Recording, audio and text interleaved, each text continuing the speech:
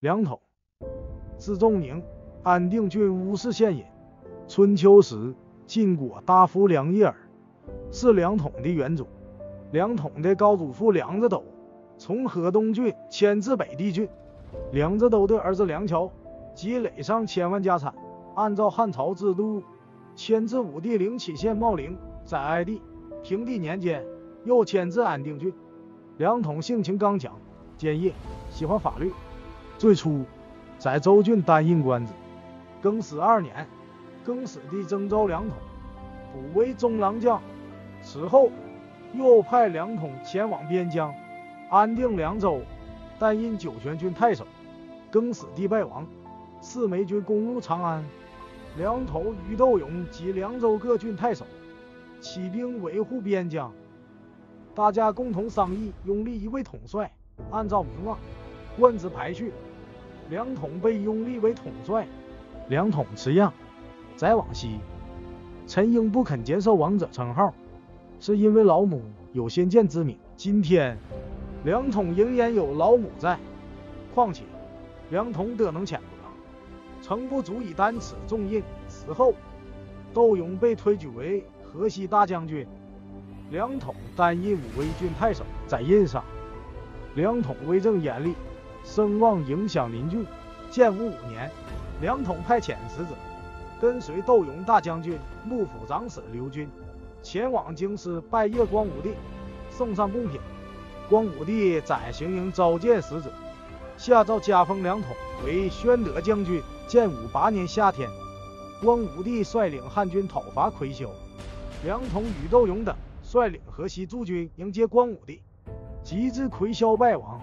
光武帝封梁统为成义侯，梁统同父异母的哥哥梁询，唐对梁腾受赐爵关内侯。光武帝拜梁腾为酒泉郡典农都尉，三人返回河西。建武十二年，梁统与窦勇等到京师朝见皇帝，以列侯身份享受奉朝廷礼遇。梁统再次受封为高山侯。光武帝拜梁统为太中大夫，任命梁统的四个儿子为宫中侍郎。梁统多次上书，就朝政向皇帝提出谏言。梁统认为法令过于迟缓，违法案件频发，朝廷应该修订刑法，施行重点。梁统上书曾看到元帝、哀帝年间减免死刑以下的法律。共计有一百二十三条，杀人受犯也可以减死罪一等。从此以后，以此为判刑标准，导致奸淫轻易犯法，官吏任意杀人。臣听说，君王之道，以仁义为上，仁者须爱也，义者须善于理政。爱人以清除残暴为宗旨，理政以去除祸乱为核心。刑罚在于准确。而不在于轻判，这才是法治原则。在武帝时，刑法也有流放、击杀、放逐、诛杀；三王也有大批死刑、墨刑、异刑、厉刑、月刑。孔子说：“仁者须有勇气。”又说：“善于理财，严肃法律，禁止民众为非作歹，这才叫一行高地接受天命。”除暴安良，平定天下，同样要制定刑法，这样天下才能获得大治。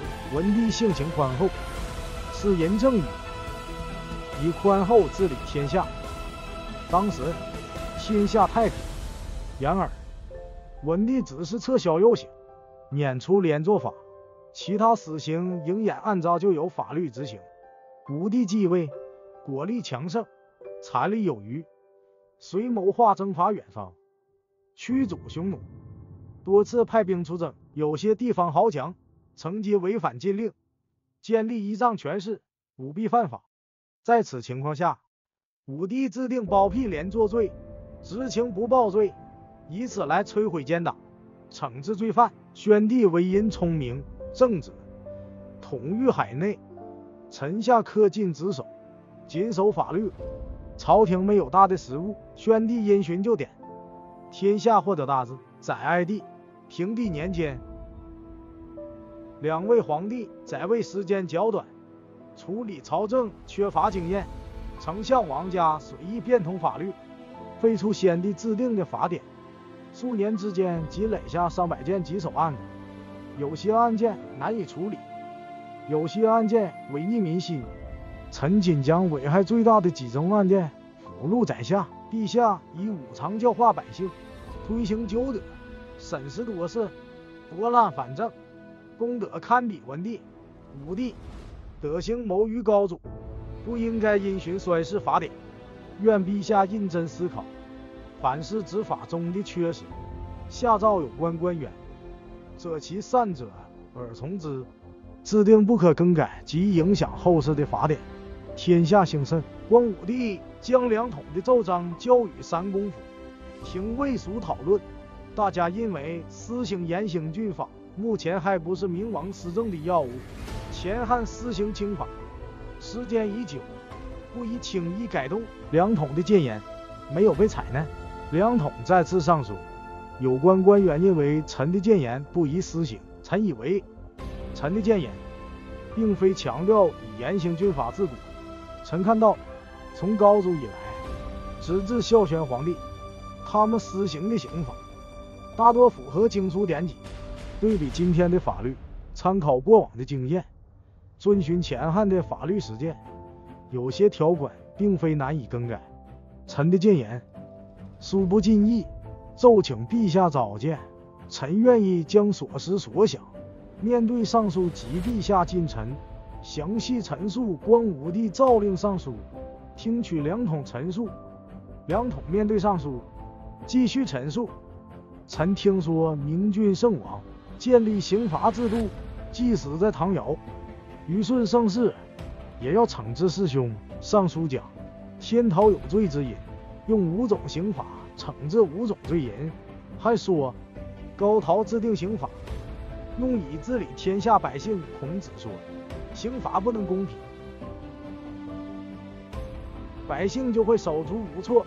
公平的含义是表示执法轻重，符合实际。春秋记载的诛杀，包括公私亲属，一旦犯法，绝不宽恕，这样才能够防患于未然，安定社稷，挽救委屈。这并非抛弃仁爱之心，最重要的是要阻断奸贼的血念、恶行。从高祖建立汉朝，直至孝宣皇帝，皇帝英明，朝臣忠诚，君臣在朝堂上谋划大计，深谋远虑，仍然要因循旧章，不敢轻易改动。海内大治，审理的罪案也在减少。从元帝初元到哀帝建平年间，减少刑罚一百余条，盗贼却日益增多，每年有上万宗刑案。后来，三府地区贼寇猖獗，聚众滋事，甚至焚烧武帝墓陵，火光照亮长安未央宫。再后来，陇西地区北地郡、西河郡的贼寇在州郡流窜，遥相呼应，攻占国家武库，盗取兵器，劫掠官吏、百姓。朝廷颁发诏书，剿捕贼寇。连年征剿，仍然难以平息。在当时，天下并无大难，百姓安居，而贼寇之事竟然如此猖獗。此皆因为刑罚过宽，达不到惩治目的，致使渔民轻易犯法，才会有这样的结果。由此看来，用轻刑治理国家，反而会产生祸患，将恩惠施予奸邪。只会令黎民遭受伤害。臣建议，陛下应该多咨询像孔光、石丹那样的贤臣，多听取他们的意见。尚书将两统的奏议禀报皇上。光武帝压下奏章，没有回复。再后来，两统出任九江郡太守，受封为凌乡侯。在印上，两统政绩优异，官吏百姓敬畏太守。服从治理。梁统在印上去世，世子梁松继承爵位。梁松字伯孙，年轻时担任宫中侍郎，娶了光武帝的女儿武阴长公主。后来，梁松升任虎贲中郎将。梁松博览经书，熟悉前汉制度，就建造明堂，批用教士封禅典礼，与武生们展开讨论，受到皇帝信任，非一般朝臣所能比拟。光武帝驾崩，梁松接受遗诏，担任辅政大臣。明帝永平元年，梁松改任太仆，为司事。梁松多次写信向郡县官员请托。永平二年，事情被人揭发，遭到免官。梁松心怀怨恨。永平四年冬天，梁松散发匿名信，肆意诽谤他人，被捕入狱，死在狱中。封果被撤销。儿子梁户以恭怀皇后堂兄的身份。在和帝永元年间，担任黄门侍郎，转任卿士、校尉。梁户为人谦恭礼让，熟读诗经、尚书。安帝永初年间，梁户担任长乐宫少府。梁松有一弟弟名梁守，梁守字叔敬。年轻时，梁耸学习孟氏易经。二十岁时，梁耸教授易经。后来。梁耸受到哥哥梁松案牵连，与弟弟梁公一起被流放至九真郡。九真郡地处南方，要渡过长江、洞庭湖，还要坐船溯源水，湘江而上。在路上，梁耸有感于伍子胥，屈原等前代先贤，因为遭到奸淫诬陷，沉江而死，因而写作《岛烧赋》，以之纪念。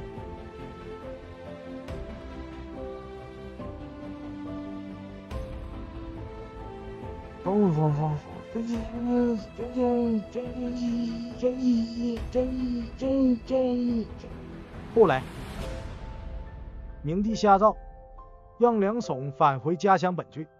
梁耸回来后，闭门读书，潜心修养，以经书典籍自娱。梁耸写作多篇文章，将其编辑为《奇序》。方姑看了后，称赞道：“孔子著《春秋》。”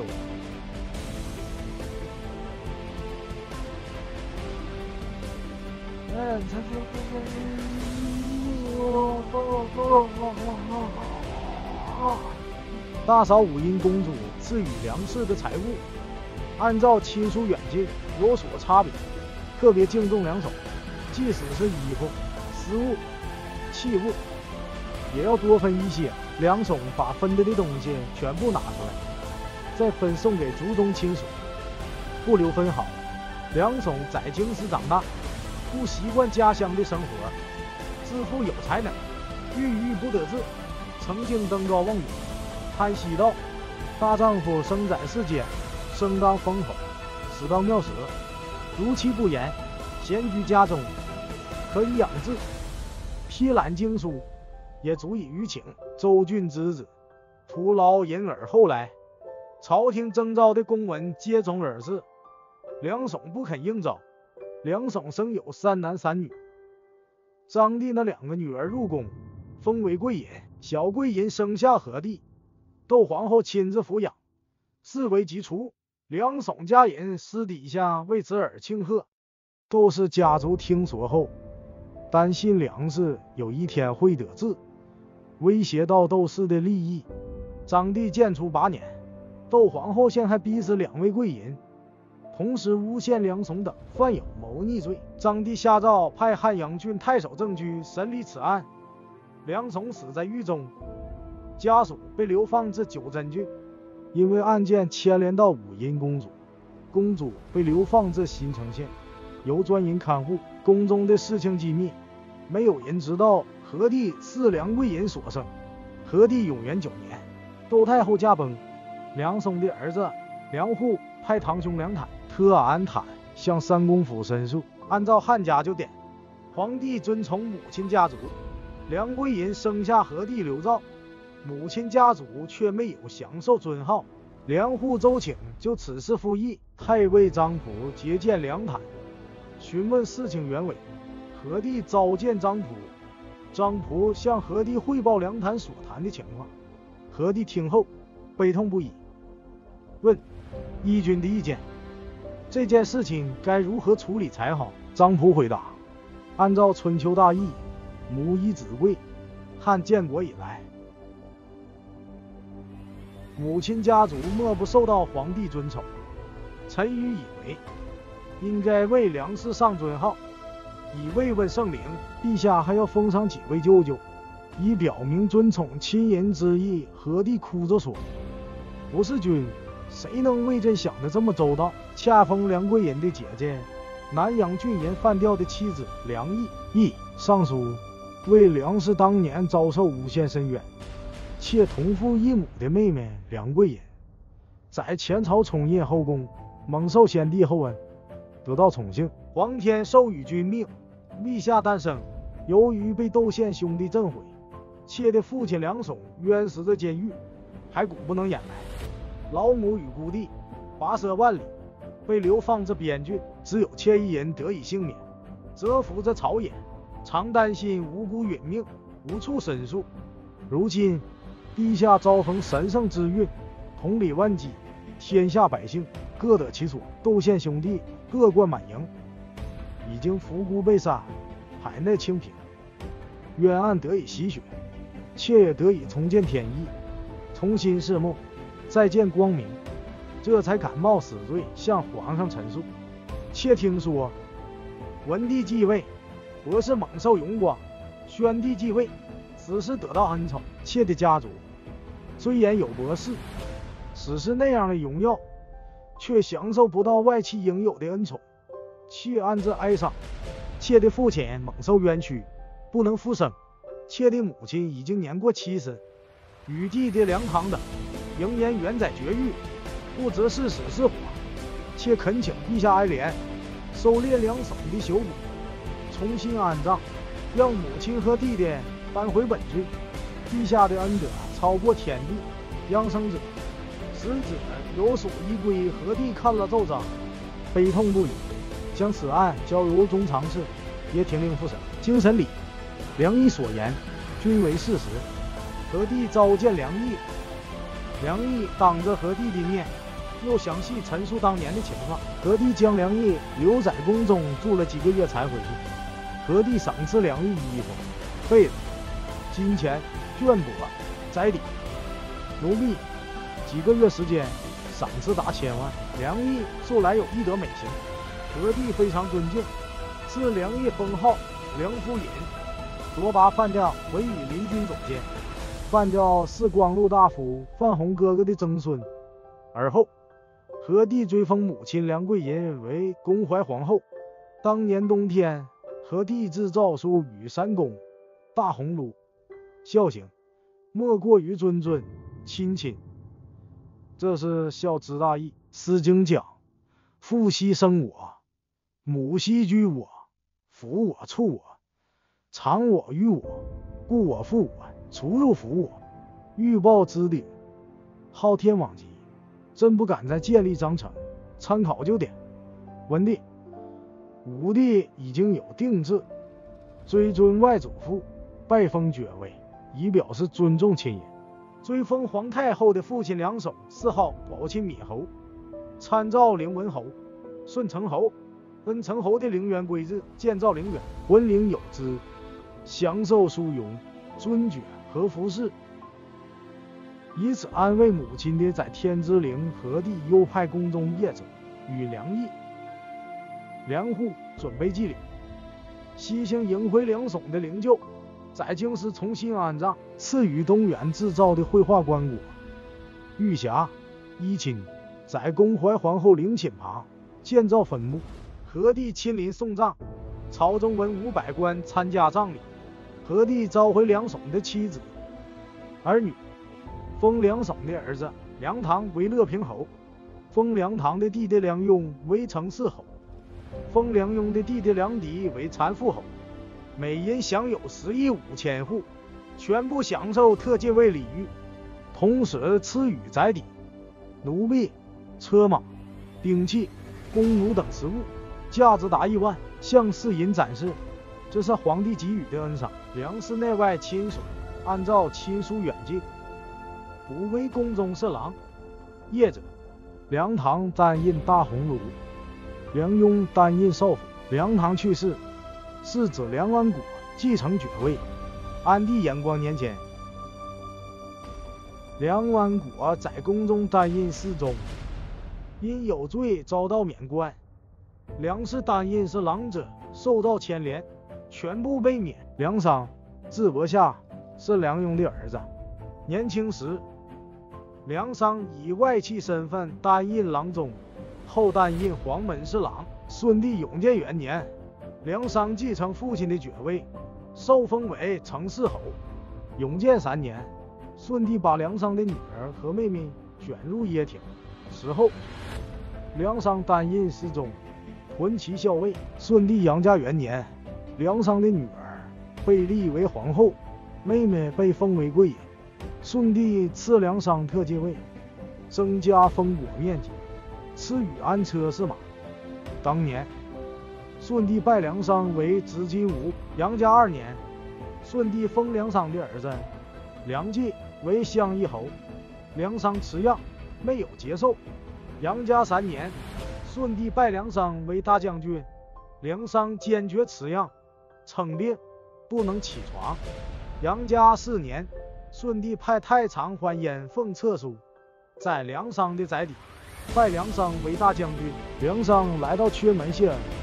第二年，梁商的夫人尹氏去世，舜帝追加谥号，开封君，赐予燕少陪葬。梁商以外戚身份身居高位。然而，梁商为人谦和，虚己待人，为朝廷推荐贤士，曾任用汉阳郡人巨览、上党郡人陈规为大将军、幕府院士。运用礼部，周举为幕府从事中郎，京师治安，为之改善。人们认为梁商是辅弼朝廷的良臣，舜帝也很信任。每当粮食欠收，有饥馑出现，梁商就会用车辆装载谷子，命人拉到城门口，赈济平民百姓。梁商从不刻意宣扬自己，专心私会与民众，严格要求家人。监察家族，家族中无人敢干扰官吏执法。然而，梁商性情柔弱，对人没有威严，尤其对于宫中宦官过于放纵。梁商让小黄门曹节等在宫中掌握权力，还让儿子梁冀、梁不疑与宦官结为好友。宦官妒忌梁商受到皇帝宠幸，反而陷害梁商。顺帝永和四年，中常侍张奎。徐正、内责令时光、上方令夫妇、永从铺设杜永等联合起来设谋，一起震毁梁商。中常侍曹腾、孟贲、说梁商等欲征召诸侯王子，图谋费力，奏请舜帝代普梁商等人治罪。舜帝说：“大将军父子是我的亲属，曹腾、孟贲是我所宠爱的人。”一定不会有这种事情，是你们这些人妒忌罢了。张奎等人看到朕悔不起作用，开始害怕，于是又假传圣旨，在锦州代普曹腾、孟贲。舜帝知道后勃然大怒，赐令宦官李瑟赶快释放曹腾、孟贲、代普、张奎等，全部杀头。他们的供词牵连出很多在位的大臣。梁商担心会有太多人受到牵连，一定会有人被冤枉。梁商向舜帝上书，按照春秋大义，有功劳奖赏主帅，有罪行惩治首恶，这样奖赏不会太滥，惩治也不会牵涉面太广。这是武帝、三王安定天下的举措。臣听说，拷问中常侍张奎等，供词牵涉面很广。朝廷一旦兴起大狱，就会有无辜者蒙冤，长久积压，纤细罪过也会酿成大案。这不是顺应祥和之气，不是安定天下、教化民众的举措，应该尽快结案，以避免更多无辜者被捕入狱。顺帝采纳梁商的谏言，仅惩治了犯罪的主犯。顺帝永和六年秋天，梁商病重，临终前。告诫儿子梁冀等：“我已不得享受如此多福佑，生前辅佐朝廷，没有做过多少有益之事，死后还要耗费如此多钱财，丧葬使用的仪器泛含玉匣、珠贝之类，对于修骨毫无益处。百官为了我的丧葬，还要忙忙碌碌，阻塞道路，徒增尘垢。虽然是理智要求，但也有可以变通之处。如今边境仍有战事，盗贼尚未平息，怎么能因为丧事耗费国家这么多钱财？我咽气之后。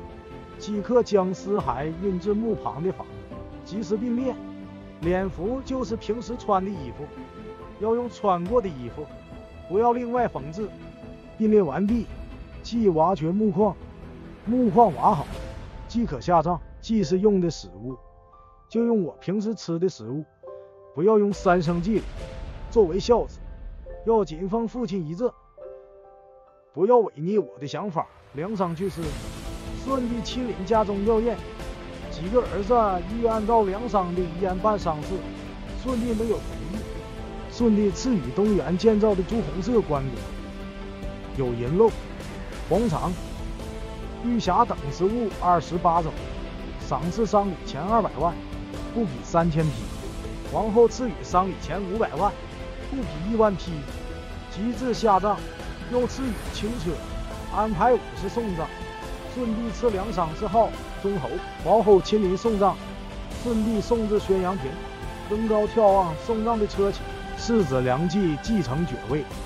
梁冀，字伯卓，长得渊肩才目，双眼盲眼之势，口齿不清，讲话结巴，识字不多，只会抄抄写写。梁冀出身于皇亲国戚，从小就是浪荡公子，为人放纵自事。嗜酒如命，喜欢射箭、弹球、下五格棋、玩六博、踢球、赌钱，诸多游戏无所不能。还喜欢驾鹰、玩狗、赛马、斗鸡。最初，梁冀在黄门担任侍郎，后来升任侍中，虎贲中郎将、乐骑校尉、步兵校尉，执金吾。顺帝永和元年。舜帝拜梁冀为河南郡大尹，在印上，梁冀骄横之事，残民已逞，做了许多不法之事。梁冀父亲梁商的密友洛阳令吕方多次向梁商谈起梁冀肆意妄为，为此，梁商也多次斥责梁冀。梁冀竟然派人在路上刺杀吕方，又担心父亲梁商知道，将吕方被杀的案件嫁祸于吕方的仇家。奏请朝廷拜吕方的弟弟吕宇为洛阳令。后来，吕宇将吕方的仇家进行搜捕，杀了仇家的宗亲、门客一百余人。梁商去世，还未下葬。舜帝祭拜梁冀为大将军，拜梁冀的弟弟是忠良不一为河南郡大尹。及至舜帝驾崩，冲帝年幼，还在襁褓，太后临朝称制。诏令梁冀与太傅赵俊、太尉李固兼领尚书指事。梁冀虽言此样，自称不能担负此重任，然而更加放肆。冲帝刘琮驾崩，梁冀拥立子弟刘转，子弟年少，然而很聪明。看到梁冀骄横跋扈，在朝堂上面对群臣，指着梁冀说：“这是一个跋扈将军。”梁冀听了此话。顿生厌恶，令手下人在饼中下毒，送给子弟吃。子弟吃了后，当天驾崩。梁冀又参与定策，拥立刘志，这就是桓帝。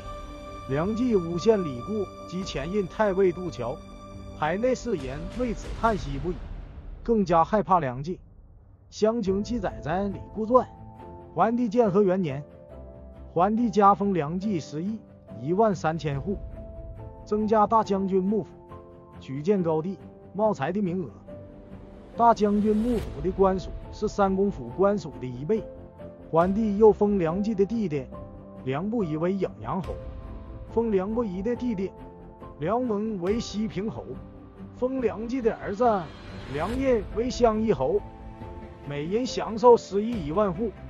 桓帝和平元年，桓帝增加梁冀十邑一万户。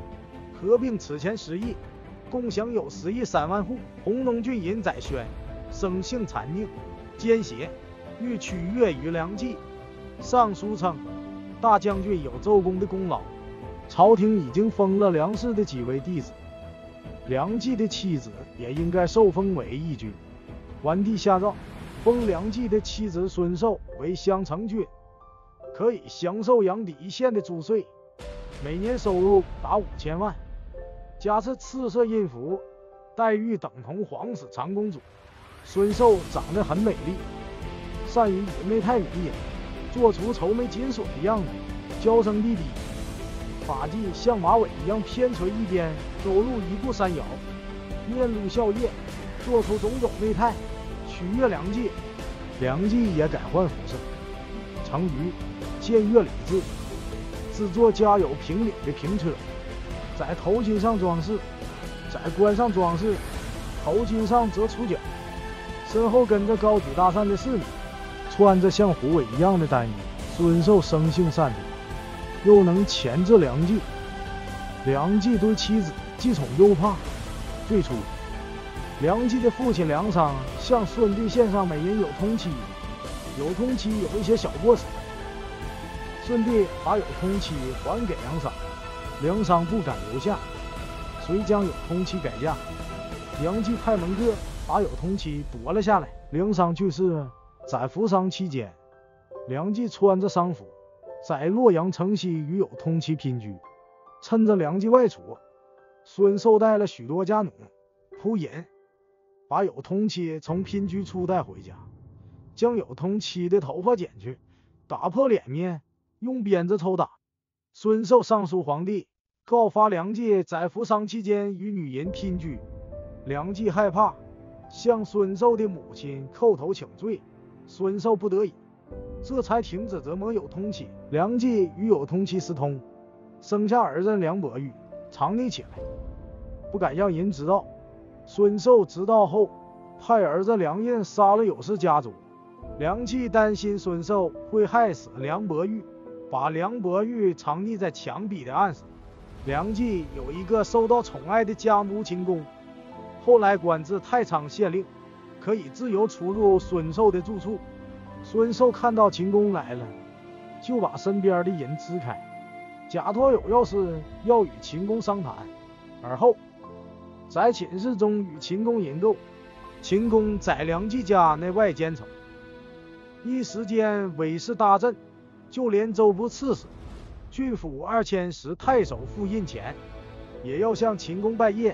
实行梁冀采纳妻子孙寿的意见，把梁氏很多在职官员免去职务，做出谦逊礼让的姿态，实际上是抬高孙氏的势力。孙氏冒充梁氏，在宫中担任侍中、卿士，在宫外担任校尉、郡太守、县长、县吏，多达十几人。这些人个个贪得无厌，派遣亲信。将所辖地区的富人登记造册，以所谓罪行关进监狱，严刑拷打，逼迫富人交钱赎罪。交钱少者，即判为死刑。又扶封隐士身份，家中富有，但是生性奸劣。梁冀送给是孙奋车辆、马匹，而后向是孙奋借钱五千万，是孙奋只借给梁冀三千万。梁冀勃然大怒。将是孙奋告到郡县，说是孙奋的母亲是梁家的奴婢，监守自盗，盗走白珠石斛，紫金一千斤，而后逃亡。随后，梁冀收捕是孙奋兄弟，严刑拷打，最终是孙奋兄弟死在狱中。梁冀随占有是孙奋的全部家产一七千余万，从全国征调上来的物资。每年各地进贡朝廷的珍宝，都要先送到梁冀的府邸，任其挑选。皇子只能得到次一等的珍宝。官吏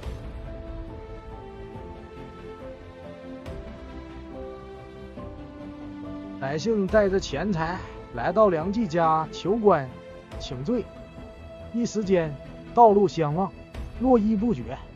梁冀派遣门客出塞，与外国交通。四处搜求奇珍异宝，顺道访求歌妓女优。派出去的门客，依仗权势欺凌地方，横行霸道，抢夺他人的妻女，毒打在职官员及士卒，所到之处，人人怨愤。梁冀大师建造府邸私宅，同样，孙寿也在梁府对面建造宅邸，土木工程极尽奢华，巧夺天工，竞相夸耀。课堂和寝室，军事明暗交错，房屋深邃，亭台楼阁，穿门过户，雕栏玉砌，彩绘装饰，加上同时修葺，大小窗棂均有繁复的结构，镂空连环，足以云气神仙。台阁之间贯通，相邻楼阁遥相阻望，飞梁跨越，石灯台阶，凌空廊桥，横陈水道，金玉珠玑。一方珍宝，充斥大小府库，还有远方收购来的汗血宝马。梁冀又开辟苑囿，推土筑山，十里九坡，以象征小寒关隘。苑囿中树木参天，溪涧叮咚，宛若神仙绝境，各种奇禽异兽充斥其间。梁冀与孙寿坐在辇车上，辇车上高张羽盖，以金银装饰。在院囿中游逛，许多娼妓在后面跟随，吹管鸣钟，一路上敲敲打打，歌舞翩跹。梁冀夫妇一夜游玩，有时候连续数亿，享尽穷奢极欲的生活。有客人造访，得不到通报，只好向门房送礼贿赂，把守门房者得到的贿赂可达千金。梁冀又扩充院囿，其奢华比列王死。向西直抵红龙郡，向东直抵荥阳县，向南直抵鲁阳县，向北抵达黄河、齐河。苑囿中有高山渊守，荒山丘陵，周围面积达千里。梁冀在河南郡城西又修建图院，面积横亘数十里，征发蜀县的立足。兴图修建楼观，经过数年才建成，而后。梁冀向属下献议发去公函，征调活兔子，剪去兔毛，作为标识。有人胆敢伤害，重罪不赦，甚至会处以死刑。有一个西域来的胡商，不了解禁忌，误杀一只兔子，结果人们相互告发，受到牵连而被杀的十余人。梁冀的二弟私下里派人到上党郡打猎，梁冀听说后，逮捕二弟的宾客。杀了三十余人，没有一人生还。在城西，梁冀又修建一座宅邸，收留逃亡罪犯，在民间抢夺良民，关在宅邸里充当奴婢，人数多达上千，还起了名字叫自卖人。元嘉元年，桓帝以拥立有功，更加宠幸梁冀。在朝堂上，桓帝召集群臣商议加封。有关官员奏请桓帝，梁冀入朝，不用几步快走，可以穿鞋履上殿，半夜站礼，不呼姓名，礼仪仿照前汉丞相萧何。朝廷把定陶县、城阳县剩下的民户，全部分给梁冀为十亿。梁冀享有市县的十亿，十亿数目与大功臣邓禹相同。桓帝又赏赐金钱、奴婢、彩帛。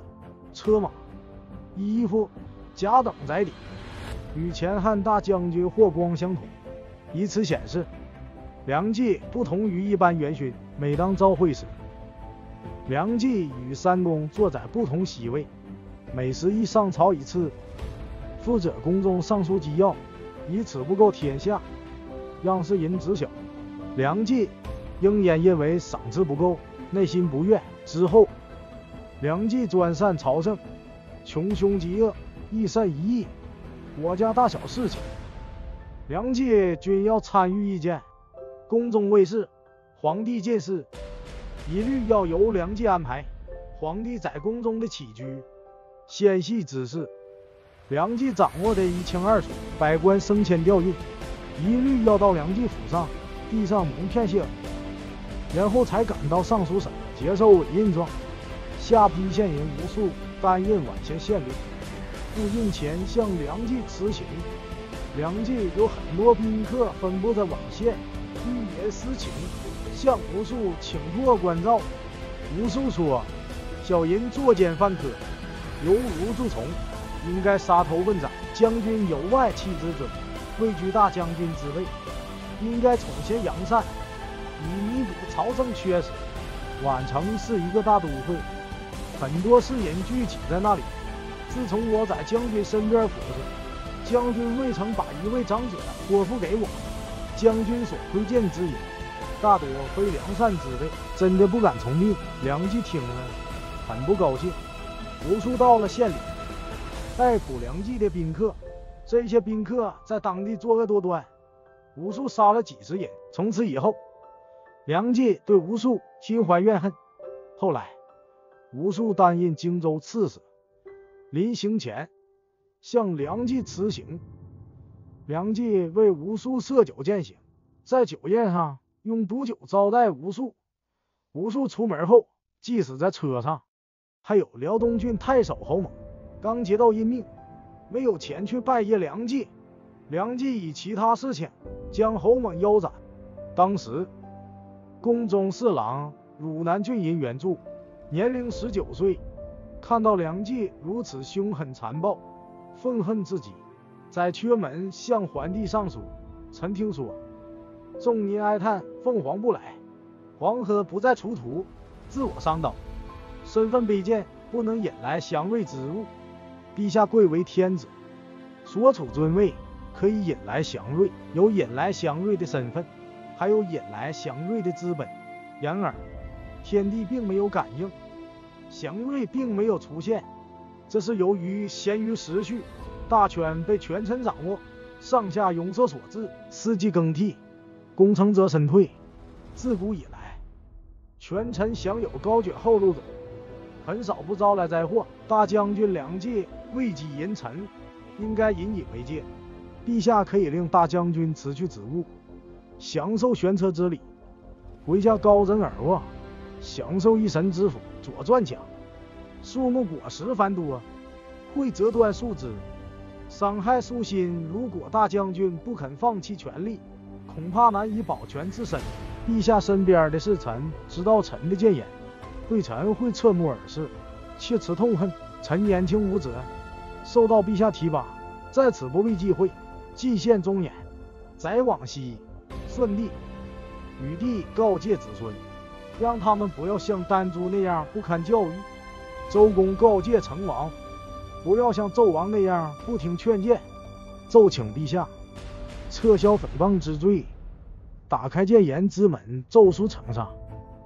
梁冀听说此事，欲秘密逮捕袁著，袁著改换姓名，后来托病装死，让家人用蒲草编织成尸体模样，在街市上购买棺柩，并列送葬。梁冀查问得知这其中有诈，又找到袁著。将原著逮捕，用鞭子活活打死。梁冀将此事隐瞒起来。有太学生贵阳郡人刘长是当时名儒，对原著的所作所为颇为欣赏。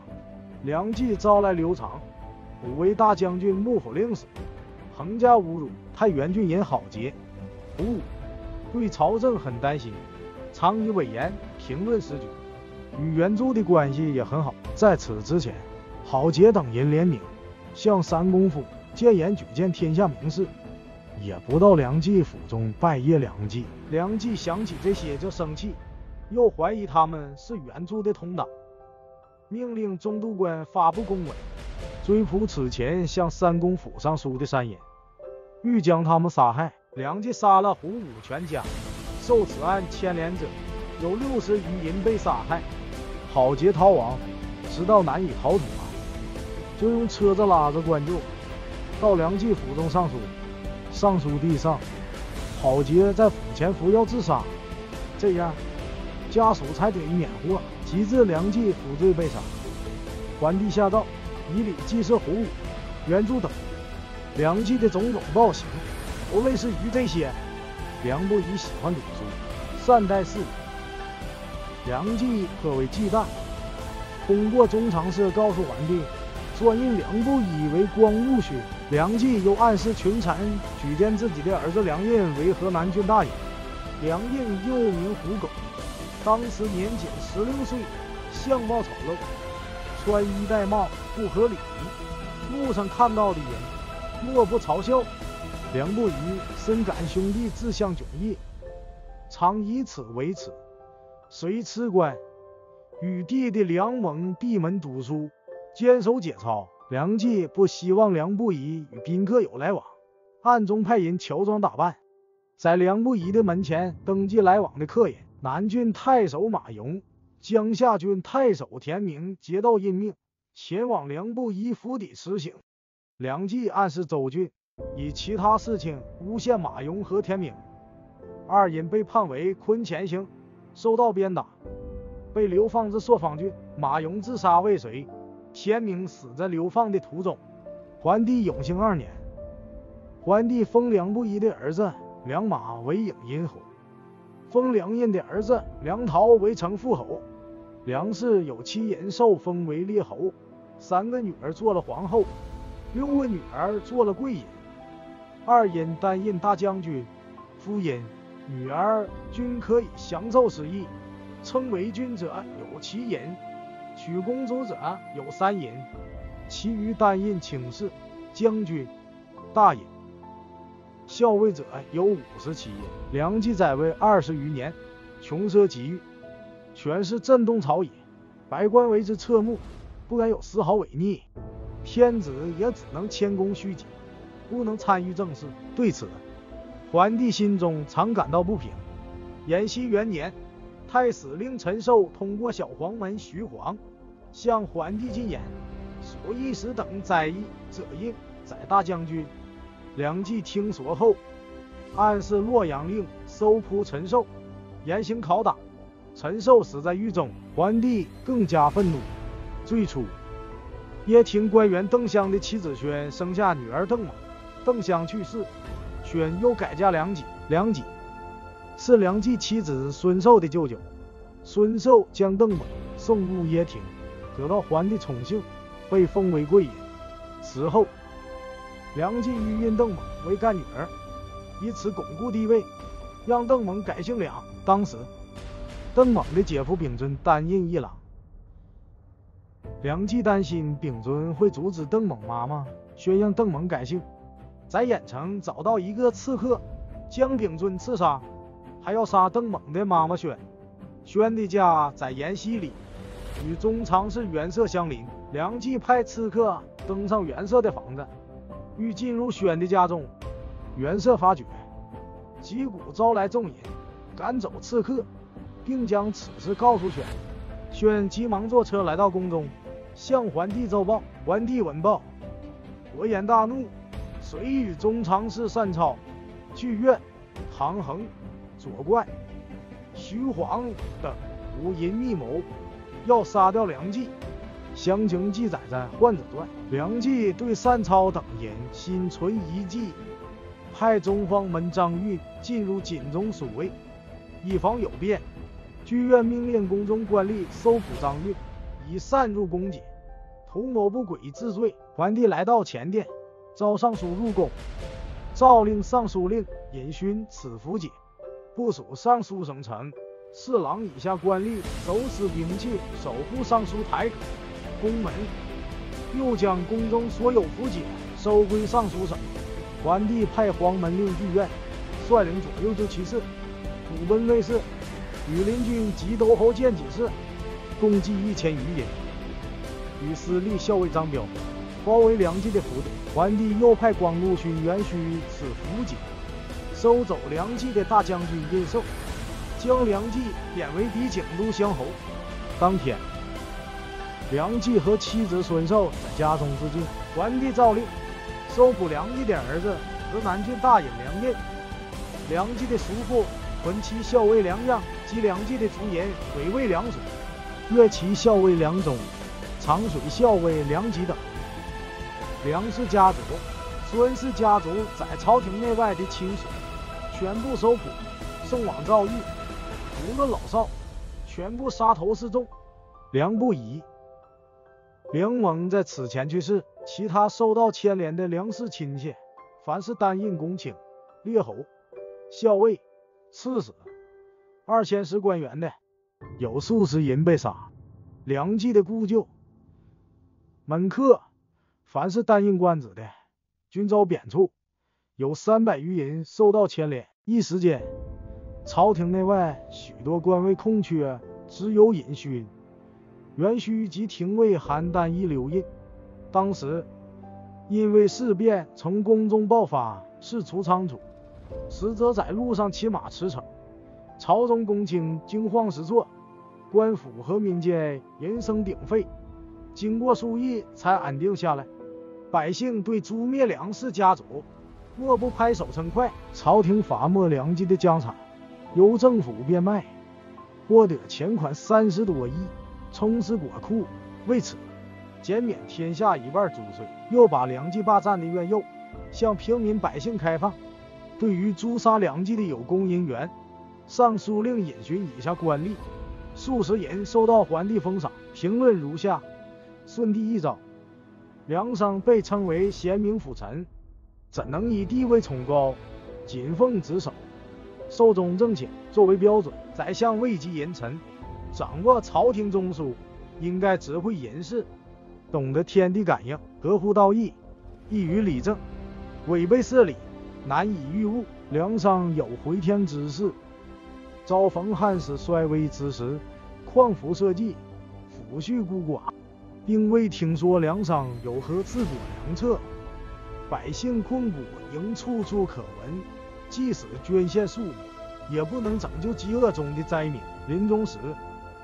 梁商留下遗言，欲实行薄葬，也不能免除尸位素餐的讥讽。